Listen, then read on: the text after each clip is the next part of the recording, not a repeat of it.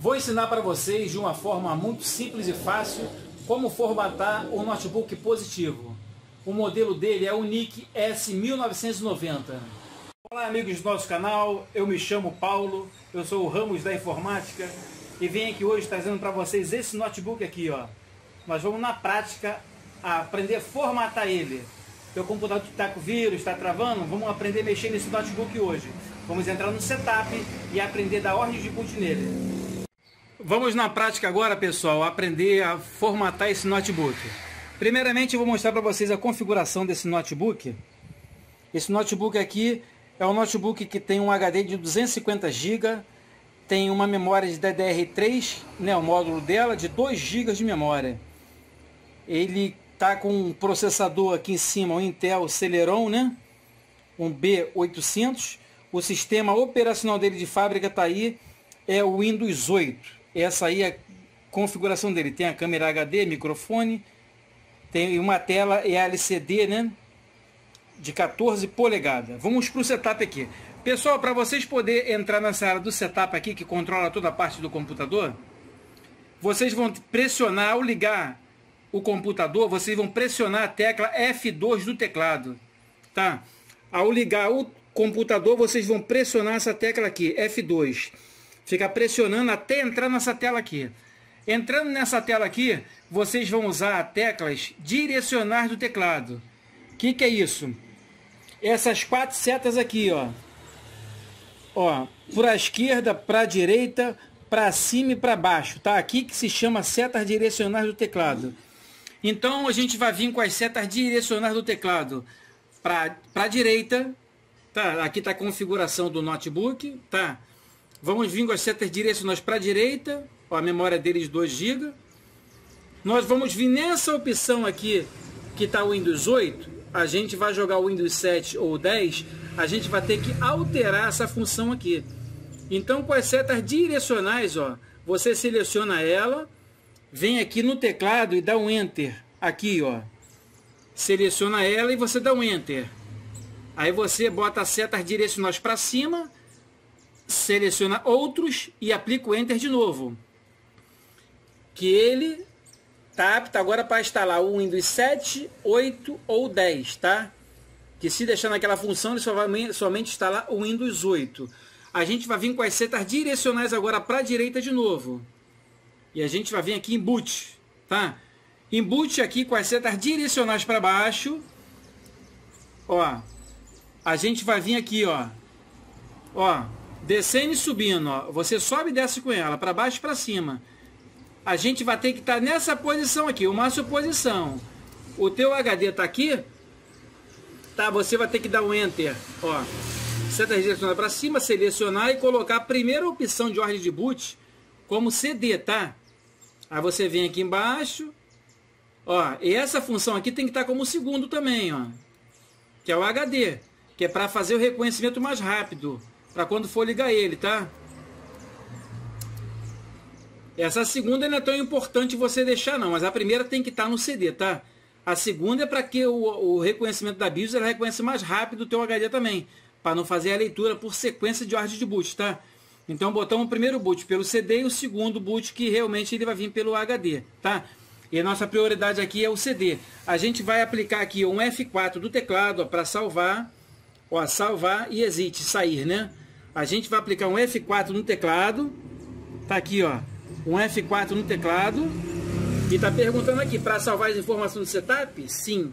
Vocês com uma mídia de CD ou DVD dentro, né?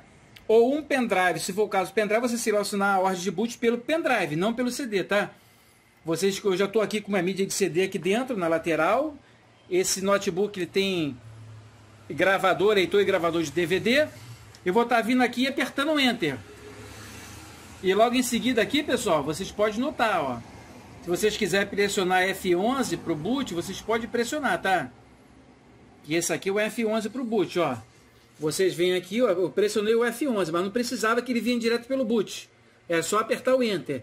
Com as setas direcionais do teclado, a gente vem aqui, ó, e seleciona o gravador de DVD, tá? Dá o Enter e automaticamente vocês podem notar aqui em cima aqui, ó, que ele está piscando ali, ó, DVD, um, dois, três, ó, dá um Enter, que automaticamente vocês podem notar aí, ó, que ele já começou a ler a mídia de DVD, tá? Vamos prosseguir então com a, com a parte de configuração, né? Para a gente agora entrar aqui nessa área aqui agora, ó. Nós vamos vir aqui, ó, selecionar o teclado Português Brasil ABNT 2, tá? E clicar em avançar. Em seguida, clica aqui para instalar agora.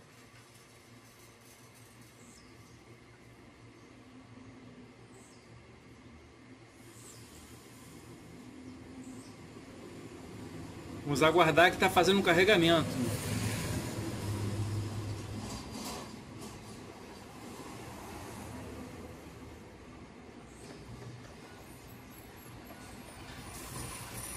Já já vamos entrar na tela, aí já apareceu a tela.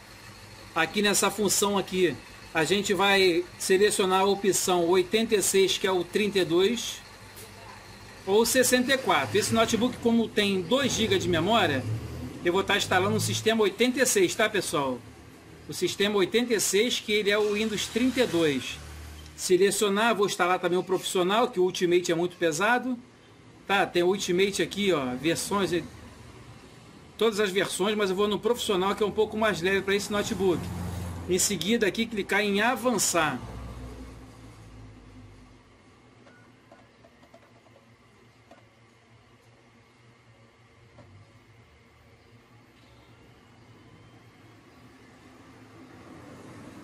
Logo em seguida aqui, ó, tá informando aqui os termos de licença para do software do para software do, da Microsoft.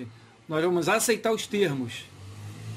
Setinha aqui, clica no lado aqui em avançar. Logo em seguida aqui, nós vamos clicar nessa função aqui personalizada. Personalizada, aqui está a área principal do computador, que é a área do HD.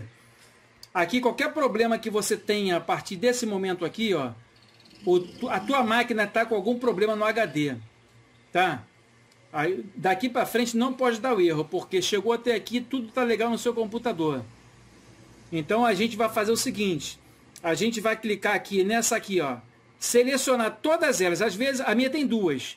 Se a tua tiver cinco ou seis, você exclui tudo, tá, pessoal? Vamos fazer o seguinte, aqui excluir essa partição. Ok. Ó, outra selecionada, Ok.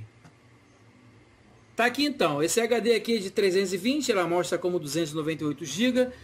Já não existe mais sistema operacional nesse computador. Não tem mais nada, tá zerado e tá sem partição. O que, que a gente vai fazer agora? A gente vai criar uma partição dentro desse HD para instalar o sistema operacional.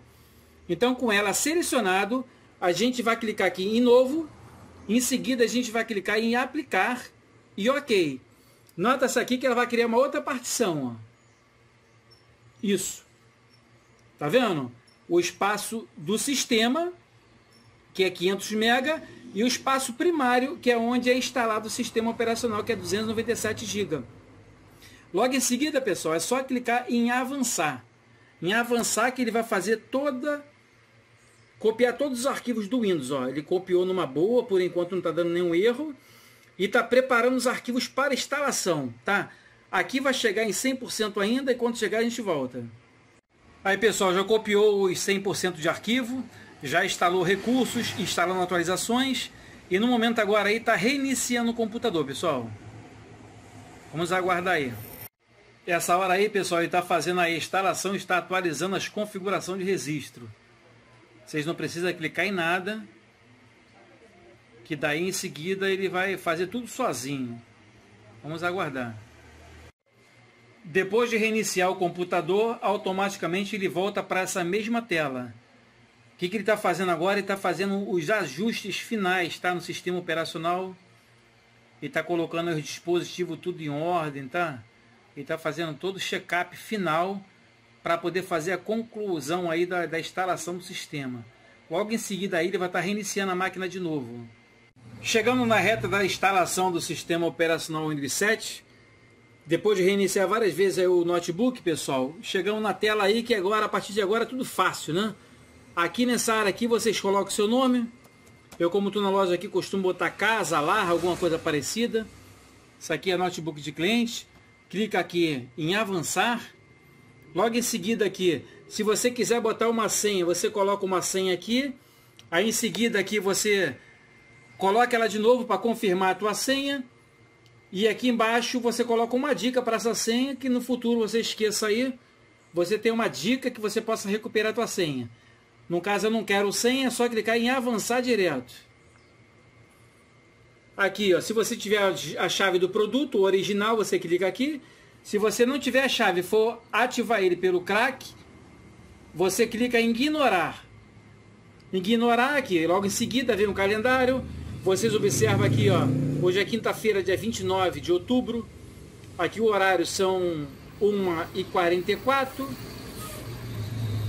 Mas no caso não são 1h44, são 12h44. Aqui acertei o relógio e clica aqui em avançar.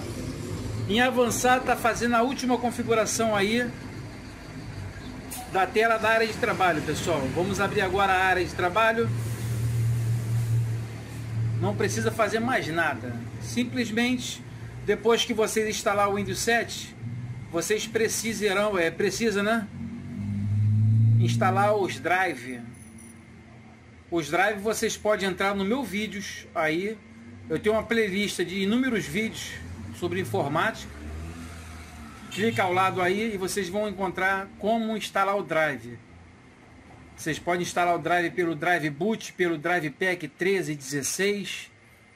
Tem várias formas de você instalar o Drive. Vamos aguardar aqui a abertura aí. A abertura então, pessoal, da área de trabalho, somente a lixeira, tá? A lixeira, sistema operacional totalmente formatado, zeradozinho. Agora somente fazer a instalação dos drive e logo em seguida fazer a instalação da, dos programas, né?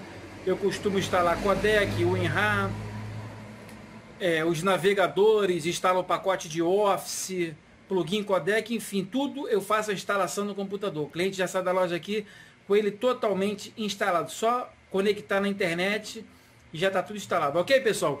Hoje aprendemos aí no nosso canal é como formatar o notebook positivo, o modelo dele, o NIC S1990. Valeu, pessoal. Se gostou do nosso canal, se inscreva no nosso canal.